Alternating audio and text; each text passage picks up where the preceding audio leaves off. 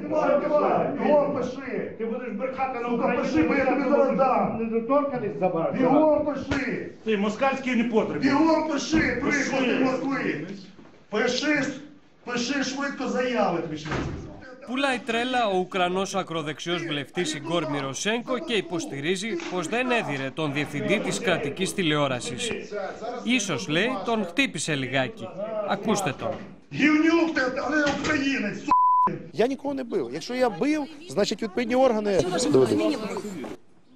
бив.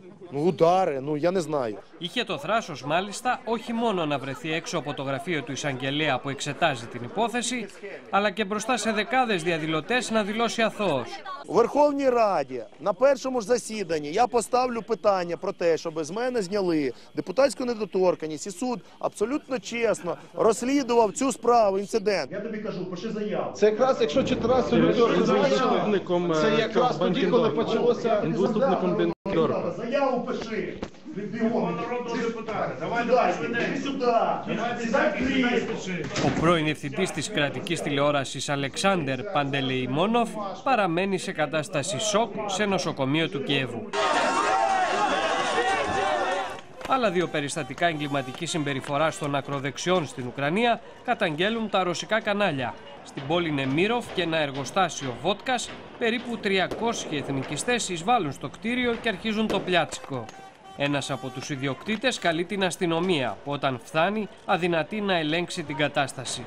Οι αστυνομικοί στο τέλος αποχωρούν κλωτσιδών. Ένας από αυτούς τραυματίζεται σοβαρά από τα χτυπήματα με γκλόπ των μασκοφόρων. Σε άλλο περιστατικό, ληστές που μπήκαν σε τράπεζα και συνελήφθησαν, αφέθηκαν στη συνέχεια ελεύθεροι, χωρίς να τους απαγγελθούν κατηγορίες μετά από πολιτικές πιέσεις. Ο ανακριτής μάλιστα που ερωτάται για το θέμα, αποφεύγει να πει την αλήθεια. Що відпустили тих чи що? Суд кажуть, що відпустили, не знаю. У нас інформації немає? Ну, сьогодні прийнято закон про національну гвардію. І з сьогоднішнього дня будь-які About the bank robbery, a criminal investigation is underway.